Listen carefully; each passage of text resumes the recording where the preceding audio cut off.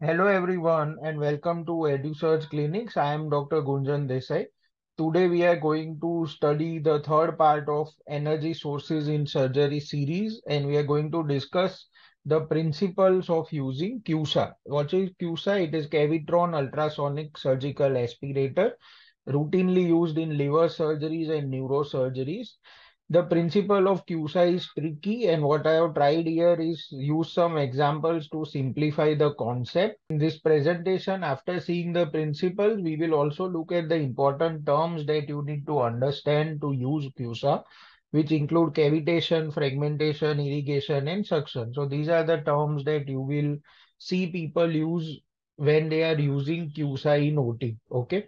Other thing we are going to see is routine parts of the probe and advantages and disadvantages of using CUSA. So a fairly simple presentation, but some concepts involved. So let us see them one by one.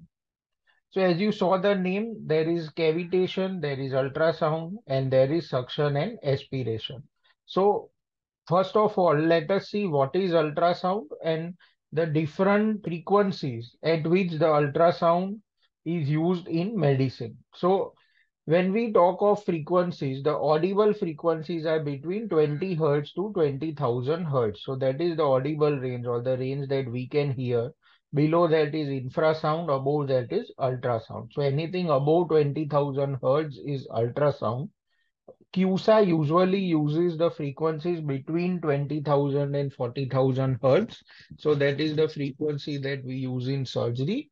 And what we call as ultrasound in imaging uses very high frequencies in terms of 1.5 megahertz to 20 megahertz. So this slide has a lot of MCQs as well as a lot of important values that you need to remember to understand these equipments.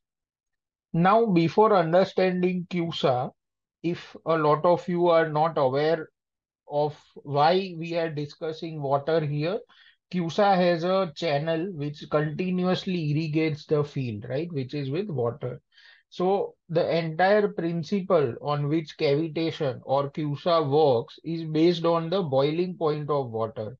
What we have to understand is that the standard boiling point of water is 100 degrees Celsius at room temperature and atmospheric pressure. And we know the mechanism of pressure cooker, right? What it does is it increases the pressure on the water so that the boiling point increases, which allows cooking. Similarly, on the other side, when you reduce the pressure, the boiling point of water also reduces, as you can see in this graph. When the pressure is zero, the boiling point is nearly only 20 degrees Celsius. So instead of 100 degrees Celsius, the water will convert into vapor and steam at only 20 degrees Celsius. Now, when the water is in low pressure and it boils so much, it reduces to bubbles and then vaporizes. What that leads to is that the bubbles burst. Now, this essentially is the concept of cavitation. What is cavitation? So, the rapidly oscillating tip of the CUSA converts the ultrasonic energy to mechanical energy by its rapid oscillations. And what these oscillations do is it creates a zone of low pressure between the cells and the tip. Okay. So now when the cells have high water content, such as the normal hepatocytes, what will happen? Because of creation of a low pressure zone, something like zero, the water starts boiling early, right? So in due to this rapid oscillation, where the ultrasonic energy is converted into mechanical energy, the low pressure zone between the tip of the CUSA probe and tissue with high water content and low elastic tissue is created. What this causes? This causes the water to boil, right? And then vaporize. So wherever the CUSA probe gets in touch with the tissue with low elastic uh, content and high water content, the low pressure zone causes the water to boil and then vaporize, which causes the bubbles to burst and this causes the cells to rupture. This is basically the principle of cavitation, right? Listen to this two, three times. Try to imagine a pressure cooker and then the discussion that we have done here with the graph and I'm sure that you will understand what is the meaning of cavitation. Okay, this principle is also used in submarines. Okay, the principle of cavitation because wherever the water converts into vapors and bursts, produces noise. Submarines try to have less noise, so they avoid cavitation by using some modifications in the rotors behind the submarine, right? So cavitation the uh, concept that is used in a lot of places. What I have tried here is to give you a very simplified explanation that what we are doing is by creating a low pressure zone, we are reducing the boiling point of water. So the water boils at room temperature without heating the water and the vaporization causes the bubbles to burst and the tissue cells to rupture. So this selectively ablates the tissue with high water content and there is a layer by layer surgical excision without affecting the vital tissues in vicinity, right? So why is it used in liver? Because hepatocytes are surrounded by a lot of structures such as blood vessels, nerves and biliary ducts, which are high in collagen and elastin and low in water content and therefore these structures are not damaged by So it is routinely used in liver parenchymal transaction. Other important terms are fragmentation, which occurs due to rapidly oscillating tip as a mechanical effect. So impact of the tip with the tissue makes them vibrate and fragment from the surrounding non-affected tissue. And this causes the fragmented tissue to be suctioned and aspirated by the aspirator, right? So there is continuous irrigation from the CUSA probe through the irrigation channel, which creates an emulsion with the fragmented tissue. And the suction is through another portal to clear the operative field. So whenever you want to understand CUSA or you want to describe CUSA, these four terms are very important. Okay, I hope you have understood the concepts now.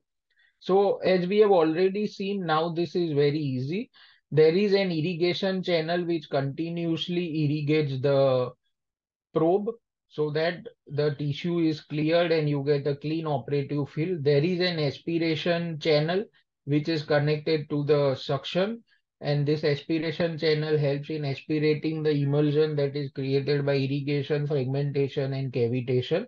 The surgical tip that you can see here this is the tip that keeps oscillating okay? It keeps oscillating at high frequencies and that is what creates the low pressure zone and the creation of cavitation right? So these are basically the components of CUSA probe. Your OT staff needs to be trained to handle this machine so as you so that the machine is used properly so when we can label the parts of CUSA, the transducer converts the electromagnetic energy into mechanical vibrations of the tip. The connecting body mechanically conveys the motions of transducer to the surgical tip. The surgical tip amplifies the motions and also contacts the tissue and damages it by fragmentation. A very important point is that the direction at which you apply the tip also affects the effect that it will have on the tissue. What that means is if the tip is perpendicular to the tissue, then it causes a cavitation effect. And if it is angled, then it causes a hemostatic effect. So if you apply the tip to the tissue at an angle of say 45 degree and press the tissue by the horizontal side of the tip, then it will have a hemostatic effect. Whereas if you apply the tip to the tissue end on, then it will have a cavitation and cutting effect. So this directional use of CUSA is important to understand. Now, there are a lot of frequencies that are used in CUSA with the new machines, but two very standard frequencies that used to be used before include 23 kilohertz and 36 kilohertz. 23 kilohertz is more powerful and has a broader and deeper tissue effect, whereas 36 kilohertz is used in soft tissue areas as it is less powerful, but has more precision with tactile feedback and fine control. So used routinely in areas with sensitive structures. So this basically gives you an overview of uh, how a CUSA is used. Advantages of CUSA because of the selectiveness of tissue division and fragmentation that can be done with CUSA. It gives a controlled dissection and better visibility. Said there is reduction in essential tissue injury because CUSA selectively damages only the tissue which has high water content. So if we use it with knowledge and awareness of the mechanism of action, then there is reduction in essential tissue injury and less bleeding. So like I said, it has found its use in liver surgery, neurosurgery, as well as a lot of other areas. We are not going to go into details of where it is used, but this video will definitely help you in understanding how CUSA works. And with this understanding, you can use it in a better way. So in upcoming energy sources video, we will study some more fascinating energy sources that we use in surgery. Thank you.